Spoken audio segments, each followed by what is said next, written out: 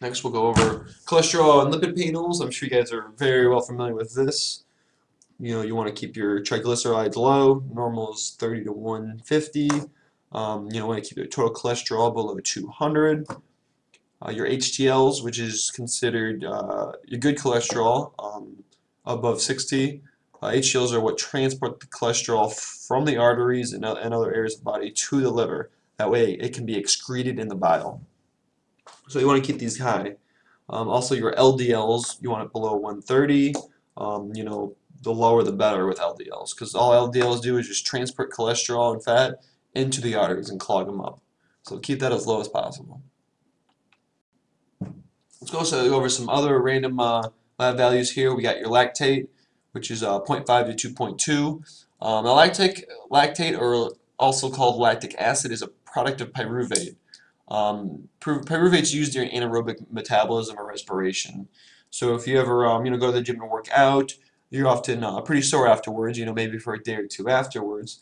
That's because while you worked out, you your body, your muscles were not getting all the oxygen they required, so they had to resort to anaerobic respiration, and um, this causes the lactic acid buildup in the in the muscles. So lactic acid is just a byproduct.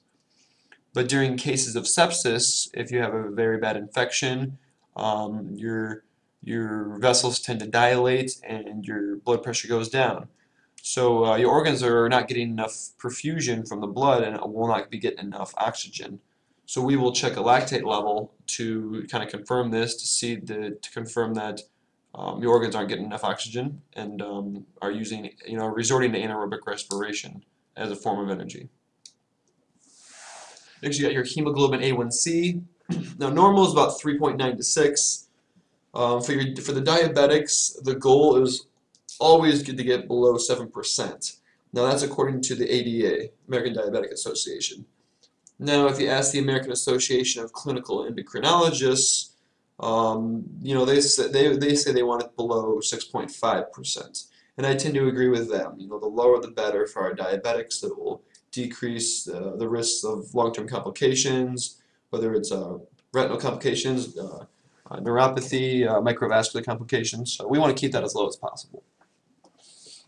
And got your TSH, your thyroid stimulating hormone.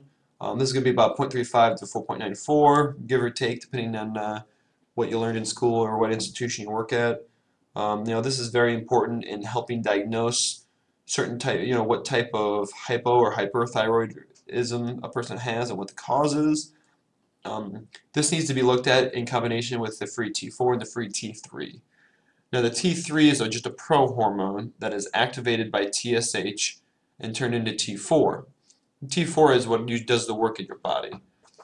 So, um, you know, I could do a whole lecture on these three lab values and what they mean. You know, if the TSH is low and the T3 and T4 are high, what is it? Um, if the vice versa is true, what's what what uh, what's the cause? So I'm not going to get deep into that because that's uh, you're not expected to be diagnosed with this kind of thing. Uh, next, you got your uric acid. Uh, uric acid is just a product of purine catabolism. Um, it's uh, when it's elevated, it's indicative of gout. Um, so if you suspect gout, you got swollen joints, uh, often a uric acid level will be checked, and um, it's um, really all you need to uh, to get a diagnosis of gout. Next, you got your ESR, which is uh, we want below 20. This stands for your erythrocyte sedimentation rate. Um, basically, it, all it is is the rate of which blood, red blood cells settle in the plasma.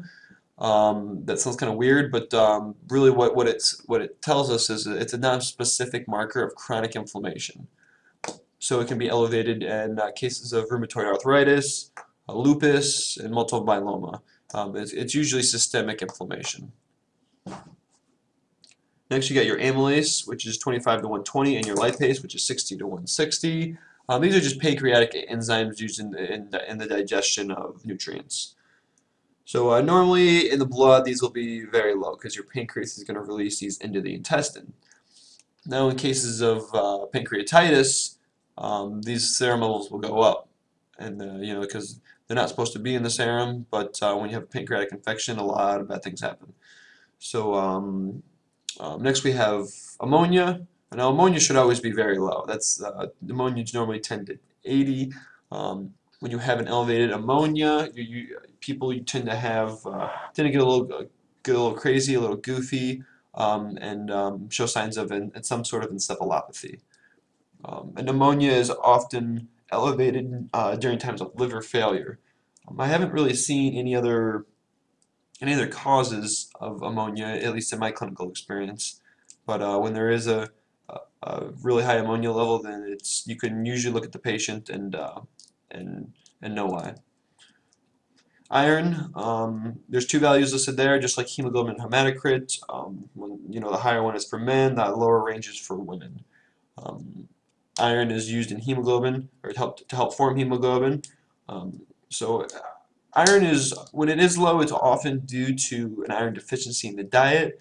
Now this is very rare in Western countries, but uh, it's a little more common in, um, in developing countries, um, a place like India where a lot of the population is vegan or vegetarian, um, but not something you'll see much in the United States. Now this concludes our lecture on lab values. Um, thank you for watching. If you have any questions at all, any comments, um, you can leave a comment below or you can feel free to email me at any time at ben at hltcorp.com. Feel free to visit our website at nclexmastery.com and uh, go to the App Store, the Google or, or Apple App Store, and search NCLEX Mastery. You can uh, download it for free and check it out. Thank you.